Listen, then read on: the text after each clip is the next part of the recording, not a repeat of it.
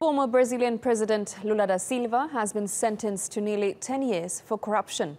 Lula was found guilty of money laundering and accepting more than $1 million in bribes. Lula has consistently protested his innocence, calling the trial a political witch hunt.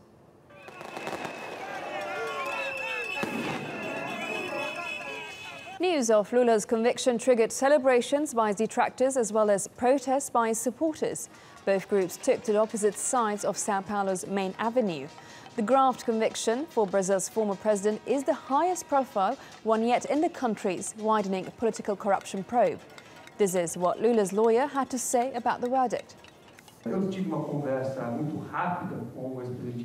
I had a quick conversation with former President Lula and he is very calm. But like any person who's been convicted without proof, who has been convicted despite having proved his innocence, there's a natural indignation of an innocent person faced with this ridiculous situation.